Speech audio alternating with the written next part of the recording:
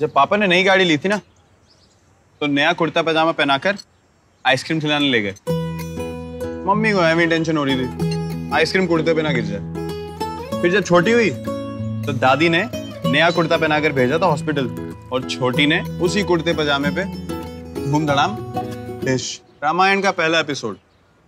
जब राम जी का इंट्रो होता है ना, वो धनुष वाला सीन, मम्मी ने सुबह सुबह ठंडे पानी से नहलाकर कुर्ता पजामा पहनाकर टीवी के सामने बिठा दिया। बे यार संडे को भी नहाता है क्या? फिर स्ट्राइक हुआ। नया कुर्ता पजामा मतलब कुछ नया शुरू। वैसे, वो नई वाली फीलिंग आजकल कम होने लगी है है ना? इस साल वो नई वाली फीलिंग वापस लेकर आते नया तो सबने करना है। कोई नई गाड़ी लेगा तो कोई घर खरीदेगा, कोई प्रपोज करेगा। तो थोड़ा स्टाइल में करते हैं, नए कुर्ते में। वैसे मैंने आज से चाय बनाना शुरू किया।